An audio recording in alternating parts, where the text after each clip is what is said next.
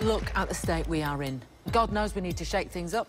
So, I propose that in order to vote, every British citizen must take an IQ test. What did she just say?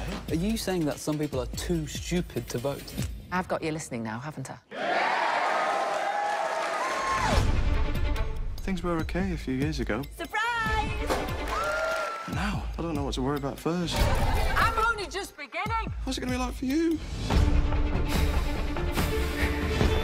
We used to think the news was boring.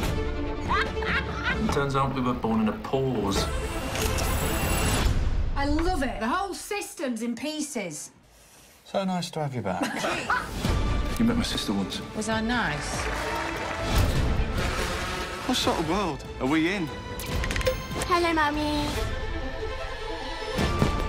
We will change forever. I vote for it. Don't you dare. It's a terrible, terrible world. But I want to see every second of it.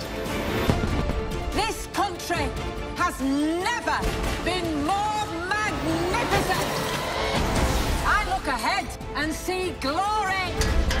Are you with me? You don't mind, do you?